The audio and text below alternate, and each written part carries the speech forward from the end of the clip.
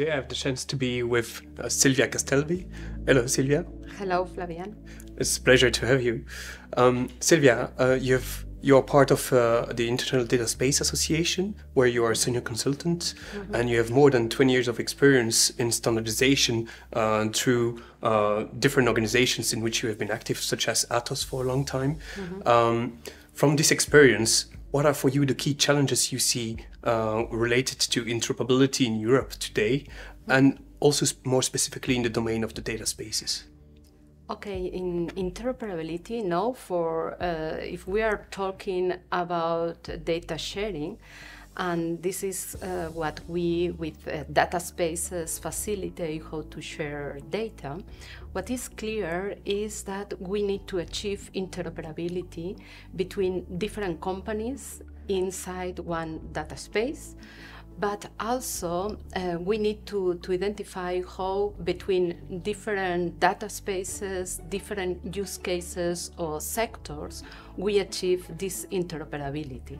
So for that, we need to define a governance inside data spaces, but also how to achieve interoperability between data spaces. And you may ask, and what is about interoperability?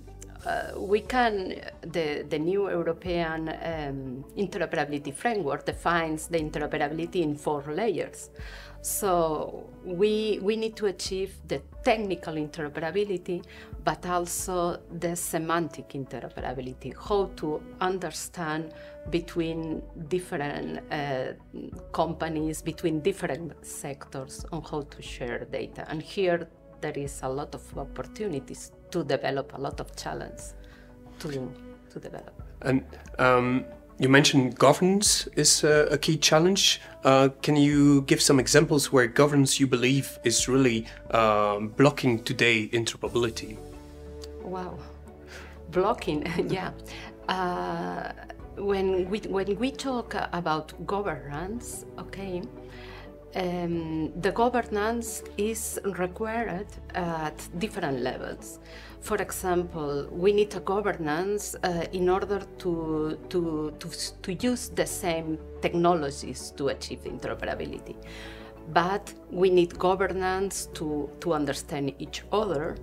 And then we need governance when we agree in, inside the, or between organizations inside a data space how we are going to negotiate the data sharing. Uh, and then when we talk about governance at this level, we are identifying which policies we define for data sharing, which rules we are going to follow. And then uh, at, at um, data space level, we define this governance as common rules that then every party, when they negotiate how to share data, they can use these policy rules and implement for establishing the, the connection or the, the data sharing. That's interesting. Um, and this is also an area where I believe IDSA, but also the Data Space Support Center, are quite active in uh, to define those building blocks in the blueprint which mm. uh, support the, the agreements that have to be made, uh, those governance policies uh, that have to be agreed between actors of uh, one data space or across data spaces. Um, so, what is exactly the role that you would see for SEMIC uh, next to those actors who are already very active in the, the area of the data spaces?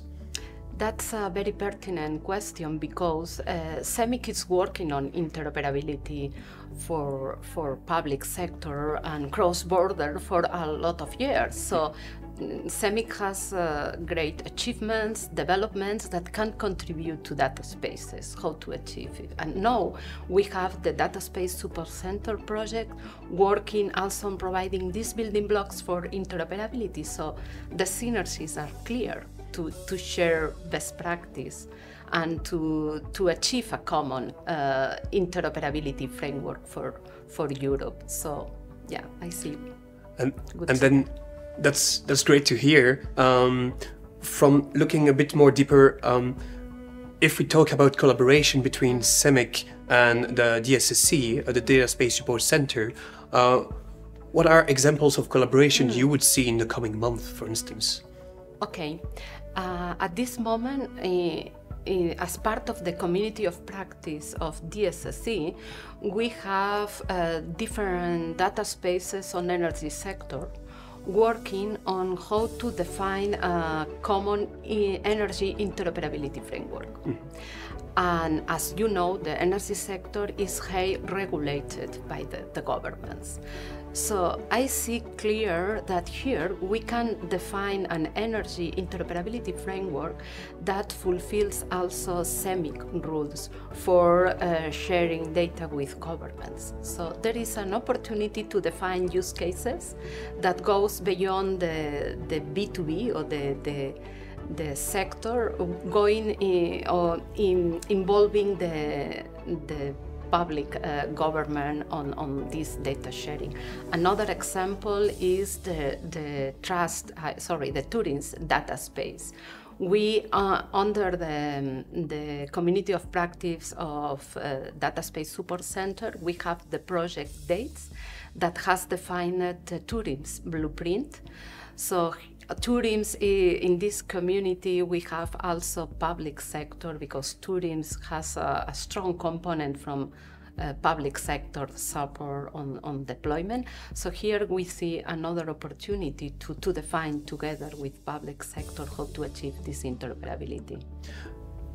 Thank you. And then um, the DSSC, other actors like IDSA are defining uh, high level or uh, generic building blocks mm-hmm. for all data spaces to be built. But we know that, as you mentioned in the, in the different examples, there are several domain specific data spaces that are being implemented at the same time. Mm-hmm. So, how do we bridge the gap between um, this theoretical framework and uh, those specific activities running in parallel when it comes to ensuring interoperability in the future?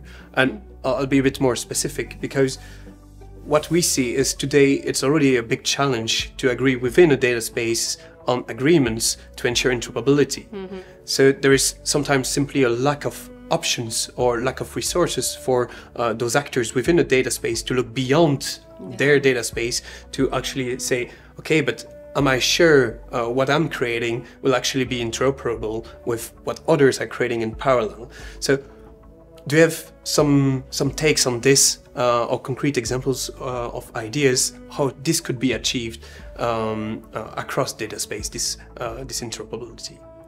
Okay, uh, if you ask me for concrete examples, I will propose, um, we have agreed that uh, semantic interoperability is a challenge. And inside the semantic interoperability, what is missing is the creation of vocabularies at sectorial level. Mm -hmm. And at the same time, as you have said, sometimes we develop things that has been developed in other sectors, but we have not communicate.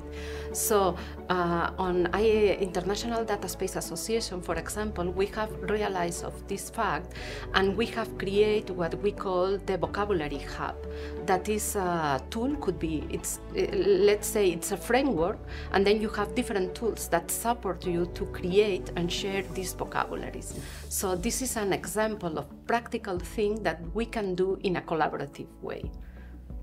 That's Great. So those are concrete things uh, yes. that SEMIC, DSSC, IDSA, yeah. and other actors uh, could further investigate together. Mm -hmm.